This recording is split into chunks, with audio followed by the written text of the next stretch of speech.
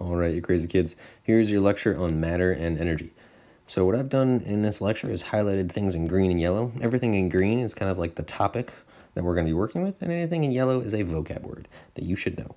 Now, these vocab words, I don't expect you to memorize the definition. You'll never see a test question that says define matter, define energy. However, the words matter and energy will be in a test question. So to understand that question, you have to understand what matter and energy are all about.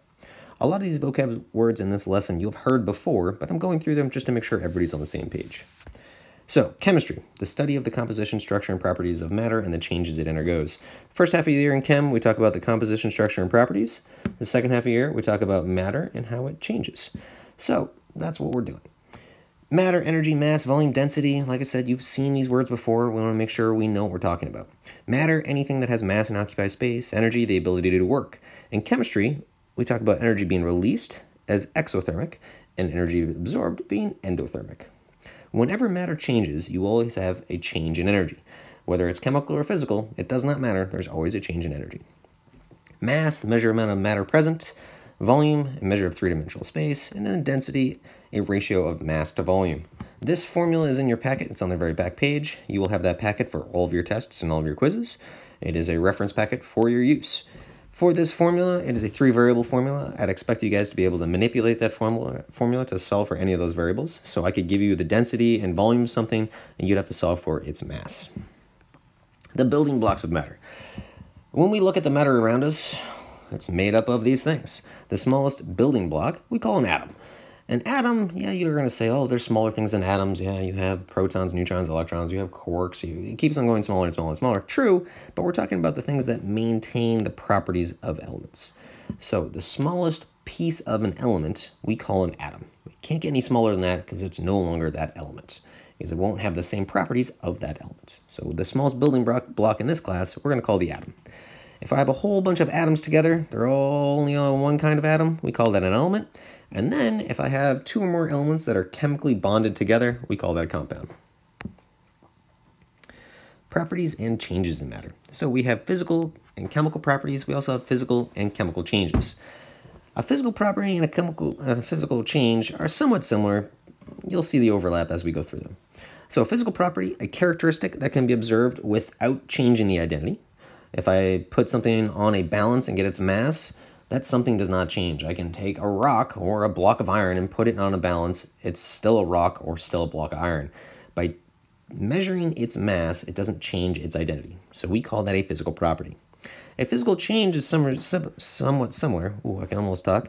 Uh, I'm changing the substance, but it does not change the identity. So if I cut a block of iron in half, it's still iron. It doesn't change the identity. We call that a physical change. A chemical property, chemical change. Now we're talking about actually changing the identity of the substance. So when I burn wood, it's no longer wood. It's changed to something else. The ability to burn, or it can combust, we call that a chemical property because it changes the substance as you test that property. A chemical change is when you're showing that and converting it to different substances. We show chemical changes with chemical reactions. Here's a chemical reaction. I have some carbon and oxygen, and I'm combining them together to carbon dioxide. On the left side of my equation, I have my reactants, and they change into your products. Right in the middle, we have this thing called a yield sign. That's what separates your reactants from your products. Notice that I'm not changing the identity of those atoms. I'm simply combining them or rearranging them. If I were to change the identity, now we're talking about a nuclear change. There are two types of nuclear changes. You have when atoms are split apart, such as this uranium splitting to barium and krypton, and when atoms are combined together. So I can take two hydrogen atoms and combine them into helium. Um, fission and fusion is what we're talking about there. Indications of chemical reactions. I want you guys to be able to look at something and decide whether or not it's a physical or chemical change. So if I look at water boiling, I can say to myself, like, oh, that's just water changing state. It's going from the liquid state to gaseous state. That's not a chemical reaction. You might look at number two and say, oh, but that's forming a gas. But remember, it's not changing the identity of water. It's just in the gaseous state. What I mean by that is these are indications of chemical reactions, but they're not foolproof. So I might see one of these, but I have to be a little careful to make sure that it is an indication of a chemical, of a chemical reaction and not just uh, an anomaly, and it's still a physical change. So indications of chemical reactions, there are four of them that I'd like you to know. Light and heat, such as fire. Formation of a gas, if I were to throw some lithium in water, I would have some hydrogen gas produced. A precipitate, when mixed, two different liquids produce a solid. That solid, by definition, is a precipitate. I will show you a video of that. And a color change. So if I have something that's blue and it changes to green, most likely a chemical change occurred.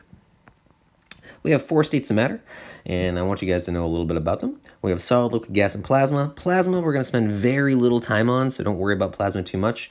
Uh, it's a very high energy state. Atoms lose electrons. It's weird. Lightning's an example. Um, so don't worry too much about plasma. But solid, liquid, and gas, I want you guys to have a good sense of what those things really are. So for solid, we have a definite shape and a definite volume. Notice how I have these little atoms here, and they have their own shape, and they have their own volume. They're vibrating, but they're not sliding really past each other. If I change to the liquid state, I have a definite volume, but an indefinite shape. Indefinite shape means the atoms can slide past each other, so this atom right here could go wherever it wanted to. And then finally, a gas, an indefinite volume, and an indefinite shape. These don't have a shape, they're all separated individual atoms, and they could even leave the container, meaning they have an infinite volume. We're going to classify matter. So if I were to look at matter, I should be able to pick out whether I'm dealing with a mixture or a pure substance. We're going to deal with mixtures first. So a mixture is a blend of two or more types of matter, each which retains its own identity and property. So if I were to look at maybe some trail mix, and I have some peanuts and I have some raisins, those peanuts and raisins are not chemically combined together. That would be a mixture because they still retain their own identity and properties. Whoa, properties. There are two types of mixtures, homogeneous and heterogeneous. That idea of trail mix would definitely be a heterogeneous one, just as a heads up. And how you can tell the difference is the definitions of those. A homogeneous mixture is the same throughout, and a heterogeneous mixture is different throughout. If I were to examine a sample of something that's homogeneous, like salt water, and I were to take a sample here and a sample here, those would have the same exact composition and proportions. So the salt water at the top left is the same as the salt water on the bottom right. There's no difference. Salt and water are not chemically combined. They are simply mixed together. For heterogeneous, that would be like sandy water. The sand and the water is not chemically combined, so it fits the definition of mixture, but if I took a sample up top here and a sample down bottom here, the bottom sample I would have a lot of water and sand, and the top sample I would have only water. So the fact that they are different makes that a heterogeneous mixture. The other half of how to classify matter are called pure substances. So if it's not a mixture, it's going to be a pure substance.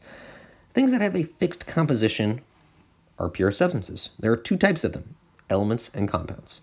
Here we have an example of a compound, H2O, this is a nice little drawing of what water looks like. I would expect you guys to be able to draw water at the blink of an eye. Um, we have two hydrogen atoms, one oxygen atom. That's how they fit together. If you look at it, it might look like Mickey Mouse. I prefer that you think of water as a dead frog. Because in reality, water is a polar molecule. Those hydrogen atoms have a positive charge, and the overall oxygen atom has a negative charge. That gives you a little bit more information. We'll talk about that later this year. Here's a little concept map on how to classify matter. So here we have matter at the top. Our first separation could be pure substances and mixtures. We just define those. If it's a pure substance, those are either elements or compounds. We have defined those as well. And then elements and compounds are made up of atoms. We've defined that as well. On the other side, we have mixtures, and mixtures can either be homogeneous or heterogeneous. And it's also important to note that these are also made up of atoms. Cool. Couple definitions for you before we end this lecture. Kinetic energy and temperature. You've probably heard of kinetic energy, energy of motion. You've heard of temperature. Temperature is a measure of the average kinetic energy in a sample. So whenever I say the words kinetic energy, I'm talking about energy of motion, how the atoms are moving. We measure that by taking its temperature. A thermometer measures kinetic energy. Kind of a neat thing. So here we have a question for you. Which of these has more kinetic energy? We have some iron in the liquid state, copper in the solid state, and krypton in the gaseous state. Can you answer this question? No, you cannot. Why can't you? Because you don't have its temperature. Oh, now I can answer this question. All right, so glancing at this, if I'm looking at kinetic energy, realize that kinetic energy, well, how to measure kinetic energy is temperature. So that means that even though this is your solid state, your correct answer is B. That has the highest temperature. All right, what determines if an object will sink or float? Mass, weight, or density? Hopefully you guys realize it's density. If its density is greater than the substance you're putting it in, it will sink. If it is less than the substance you're putting in, it will float. I need you guys to know the density of water. It is 1.0 gram per centimeter cubed. Remember that centimeters cubed and milliliters are equivalent to each other, so I could have used 1.0 gram per milliliter, and that's the same thing as 1.0 gram per centimeters cubed. If the density of something is less than that, it would float if it's in water, and if it's more than that, it would sink in water. For the last thing we have to learn about today are these things called diatomic elements. Here I have a periodic table, and I've highlighted the diatomic elements in green hydrogen, nitrogen, oxygen, fluorine, chlorine, bromine, and iodine. There are seven of them.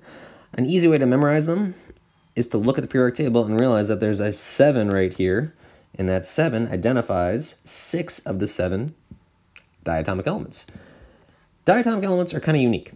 When I write a diatomic element out, it always has a subscript 2 because there's two atoms bonded together. They are never alone. These are the only seven that do this. The rest of the elements could be alone. I could have a single atom of magnesium. That's no big deal. However, oxygen does not exist as a single atom. Oxygen only exists as a diatomic. There are two oxygen atoms bonded together. So I need you to memorize hydrogen, nitrogen, oxygen, fluorine, chlorine, bromine, and iodine a couple ways to do it. One, look at the periodic table. There's a 7 right over here.